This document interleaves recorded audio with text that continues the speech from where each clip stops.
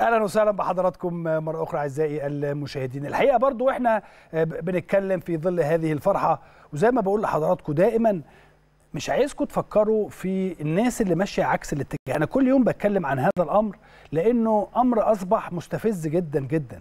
يعني إيه مستفز؟ يعني الناس كلها الحقيقة ماشية في الفرحة مع النادي الأهلي والسعادة مع النادي الأهلي وكل ما يخص النادي الأهلي. من فرحة وسعادة.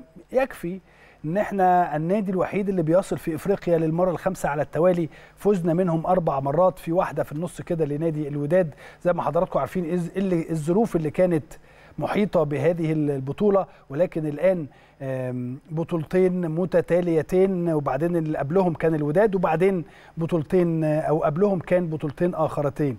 وعشان كده بقول لحضراتكم إن عايزكم افرحوا اتبسطوا. اعرفوا إن كل ما يخص الفرحة والانبساط إحنا محتاجينه خلال هذه الفترة لأن إحنا كأهلاوية دايما ما بيبقاش عندنا فترات. الحمد لله والشكر لله المرة دي عندنا فترة إن إحنا نفرح ونتبسط ونعدي يوم واثنين وثلاثة وأربعة وخمسة وستة وإن شاء الله برضو على شاشة قناة النادي الأهلي تشوفوا مفاجآت خلال الأيام القادمة.